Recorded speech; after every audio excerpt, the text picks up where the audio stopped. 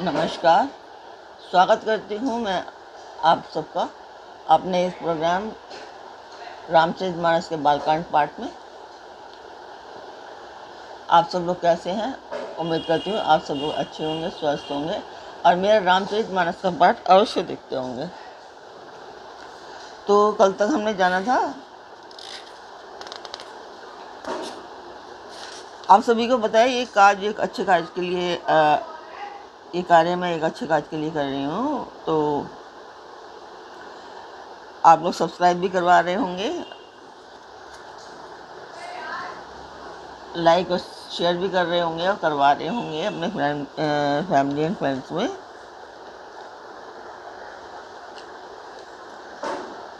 तो कल तक हमने जाना था श्री रघुनाथ जी को जगत का पिता विचार कर नेत्र भरकर उनकी छवि देख लो।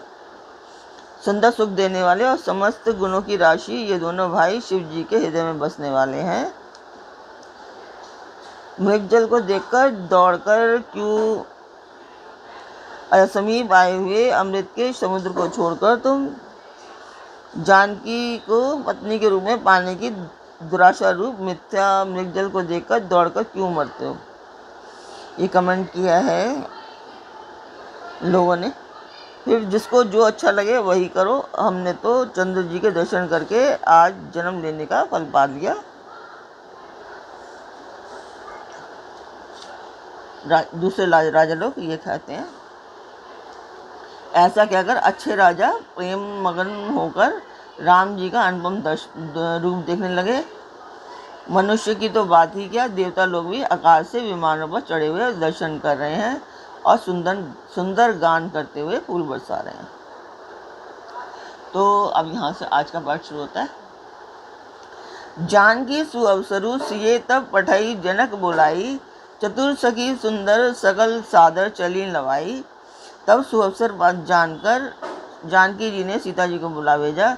सब चतुर और सुंदर सखियाँ आदरपूर्वक उन्हें लेवा चली। सिए शोभा नहीं जाई बखानी जगदम्बिका रूप गुण बखानी, उपमा सकल मोही लघु जान लागी, प्राकृतिक नारी अंग अनुरागी। रूप और गुणों की खान जग जननी जानकी जी की शोभा का वर्णन नहीं हो सकता। उनके लिए मुझे सब उपमाएँ तुच्छ लगती हैं, क्योंकि वे लौकिक स्त्रियों के अंगों से अनुराग रखने वाली हैं। अर्थात इसका मतलब है कि वे जगत की स्त्रियों के अंगों को दी जाती हैं। काव्य की उपमाएँ सब चित्रानुगत त्रिगुणात्मक माइक जगत से ली गई हैं। उन्हें भगवान की स्वरूपा शक्ति, श्री जानकी जी के अप्राकृत चिन्मय अंगों के लिए प्रयुक्त करना, उनका अपमान करना और अपने को उपहासपद बनाना है। सिए बनिए तेई उपमा देई, को कभी कहाई अजसु को लेई। जो पट तरिय, तिये समसिया जग असी जुवती, कहाँ कमनिया सीता जी के वर्णन में उन्हीं उपमाओं को देकर कौन कुकवि कहलाए और अपयश का भागी बने। अर्थात सीता जी के लिए उन उपमाओं का प्रयोग करना, को सुकवि के पद से चुक्त होना और अपकृति मोल लेना है। कोई भी सुकवि ऐसी नदानी एवं अनुचित कार्य नहीं करेगा। यदि किसी स्त्री के साथ सीता जी की तुलना की जाए तो जगत में ऐसी सुंदर युवती है ही कहाँ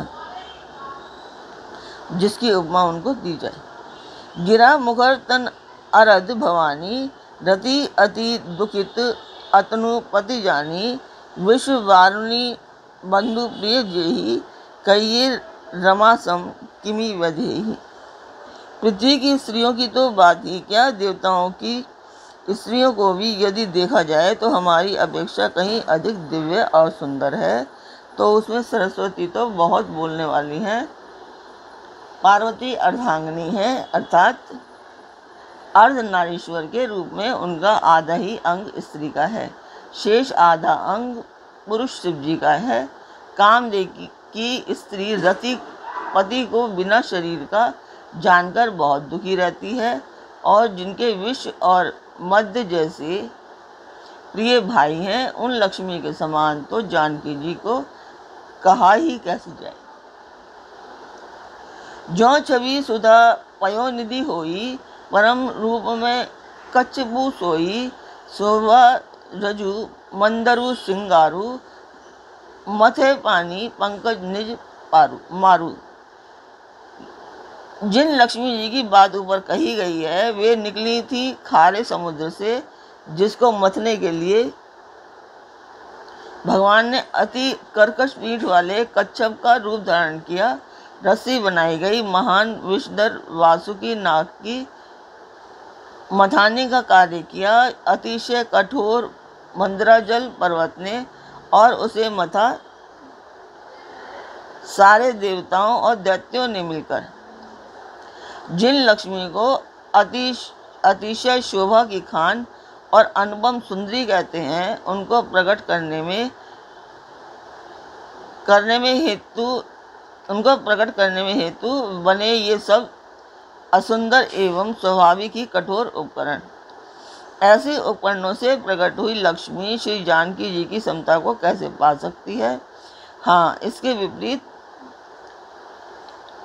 यदि छवि रूपी अमृत का समुद्र ही परम रूप में कच्छप हो, शोभा रूपी रस्सी हो, श्रृंगार पर्वत हो और स्वयं कामदेव अपने को कर कमल से मथे।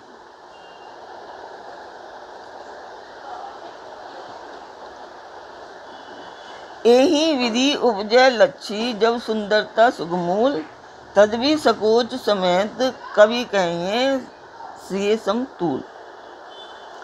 इस प्रकार जो सुंदरता और सुख की मूल लक्ष्मी उत्पन्न हो तो भी कभी लोग उसे संकोच के साथ सीता जी के समान कहेंगे। जिस सुंदरता के समुद्र को कामदेव मथेगा, वह सुंदरता ही प्राकृत लौकिक सुंदरता ही होगी, क्योंकि कामदेव स्वयं भी त्रिगुण में प्रकृति का ही विकार है। अतः उस सुंदरता को मत कर प्रकट की हुई लक्ष्मी भी उपयुक्त लक्ष्मी की अपेक्षा कहीं अधिक सुंदर और दिव्य होने पर भी होगी। दिव्य होने पर भी होगी प्राकृत ही। अतः उसके साथ भी जानकी जी की तुलना करना कवि के लिए बड़े संकोच की बात होगी।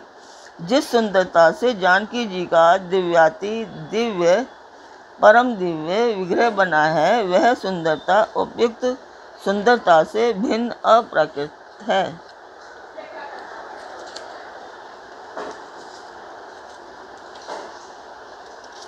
वस्तुतः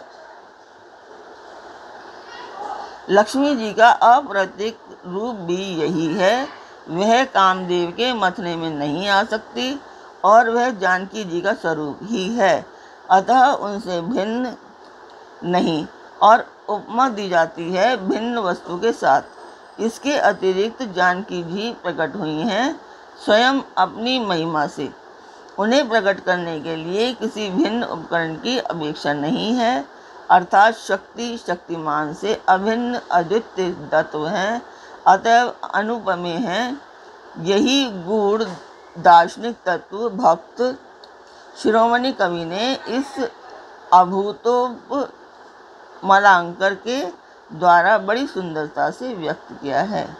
सही सही में सच, बिल्कुल ये बहुत सुंदरता, सुंदर वर्णन है सीता जी का, लक्ष्मी जी से कंपेयर करने का। हालाँकि लक्ष्मी जी से उनको कंपेयर नहीं किया जा सकता, इसमें कवि ये बताते हैं, पर फिर भी। तो अभी मैं आपको जिस मंदिर के लिए मैं ये रामायण का पाठ कर रही हूँ, उसका मैं आपको वीडियो दिखाती हूँ। वो बहुत पुराना मंदिर है कुल देवी का तो उसी के लिए ये कार्य हो रहा है।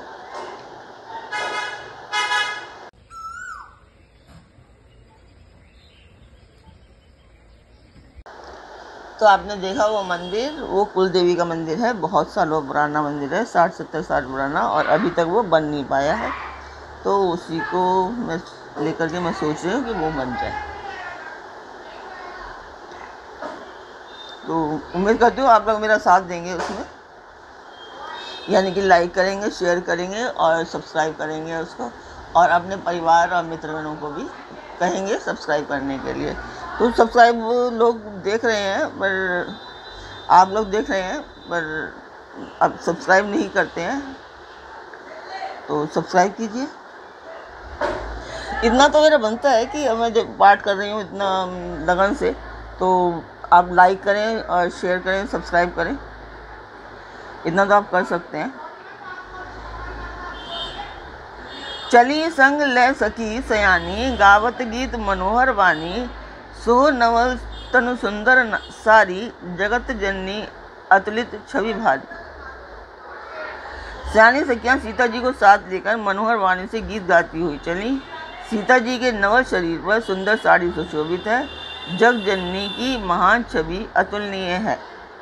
तो अब यहाँ से स्वयंवर की प्रक्रिया आरंभ होती है। और और मैं आप लोगों को बताना चाहती हूँ व्यूअर्स को अपने बताना चाहती हूँ कि मैं ये पार्ट रामचरित मानस का मैं ये सुबह आता रहेगा रोज़ कभी कभी लेट हो जाता है। पर मैं सुबह कोशिश करती हूँ नौ बजे तक इसको डालने की। तो नौ बजे तक आता रहेगा और और रेगुलर करने की भी कोशिश कर रही हूँ कि रेगुलर आता रहे। और आप लोगों को मिलता रहे ताकि आप लोग आराम से देखते रहें पूजा के समय तक। और मैं आगे भी हो सकता है कोई और दूसरा पाठ करने की कोशिश करूँ, जब ये रामचरित मानस का पाठ ख़त्म हो जाए तो। तो कोशिशें मेरी जारी हैं। आप लोग सब्सक्राइब कीजिए लाइक कीजिए शेयर कीजिए। बस इतना ही साथ चाहती हूँ। भूषण सकल सुदेश सुहाए, अंग अंग रचि सखने बनाए रंग भूमि जब सिए पगुधारी, देखी रूप मोहे नर नारी। सब आभूषण अपनी अपनी जगह पर सुशोभित, शोभित हैं, जिन्हें सखियों ने अंग अंग में भली भांति सजाकर पहनाया है। जब सीता जी ने रंग भूमि में पैर रखा, तब उनका रूप देखकर स्त्री पुरुष सभी मोहित हो गए। हर्षी सुने दुधुम्बी बजाई, बरसी प्रसून अक्षरा गाई, पानी सरोज सो जयमाला, अब चट चिते सकल भुआला देवताओं ने हर्षित होकर नगाड़े बजाए और पुष्प बरसाकर अप्सराएँ गाने लगी। सीता जी के कर कमलों में जयमाला सुशोभित है। सब राजा चकित होकर अचानक उनकी ओर देखने लगे। सिए चकित चित राम ही चाहा, भय मोह बस सब नर नाहा। मुनि समीप देखे दो भाई, लगे लल की लोचन निधि पाई। सीता जी चकित चित्त से श्री राम जी को देखने लगी। तब सब राजा लोग मोह के वश में हो गए। सीता जी ने मुनि के बाद बैठे हुए दोनों भाइयों को देखा। तब उनके नेत्र अपना खजाना पाकर ललचाकर वहीं जा लगे।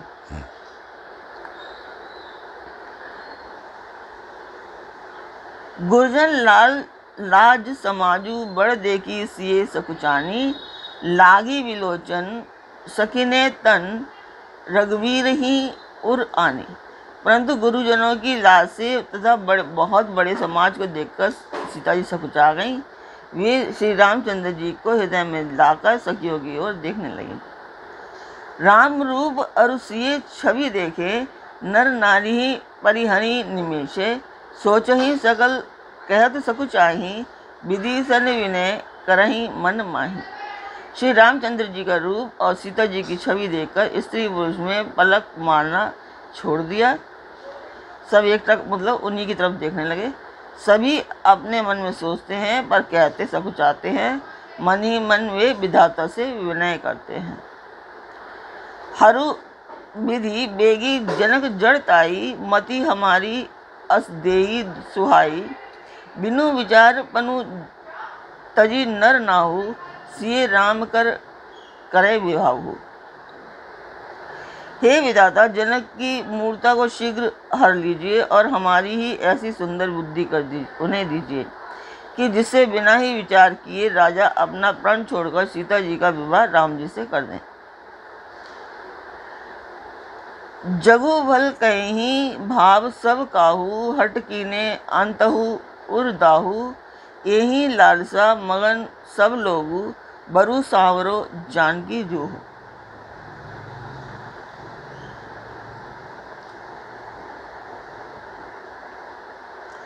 संसार उन्हें भला कहेगा।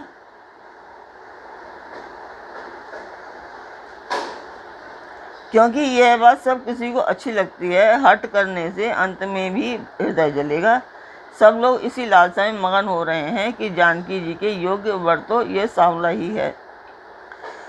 तब बंदी जन जनक बुलाए, बिरिदावली कह, कहते चली आए, कह निर्भु जाई कहूँ पन मोरा चले भाट ही हर्षु न थोरा। तब राजा जनक जी ने बंदी जनों को बुलाया। वे वृद्धावली गाते हुए चले आए। राजा ने कहा, जाकर मेरा प्रण सबसे कहो। भाट चले, उनके हृदय में कम आनंद ना था।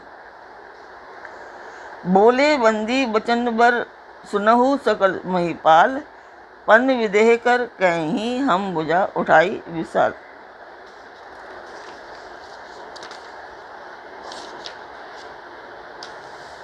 भाटों ने श्रेष्ठ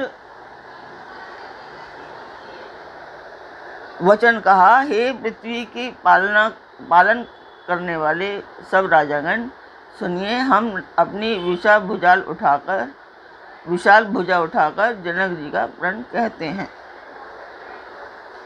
तो आज का पार्ट में यहीं तक रखती हूँ। तो कल फिर मिलेंगे एक नए पार्ट में। तब तक आप मेरा चैनल सब्सक्राइब कीजिए, चैनल सब्सक्राइब कीजिए लाइक कीजिए शेयर कीजिए, और अपने परिवार मित्रों को भी सब्सक्राइब करने के लिए कीजिए। कहिए तो कल फिर मिलते हैं एक नए पार्ट में तब तक खुश रहिए। नमस्कार।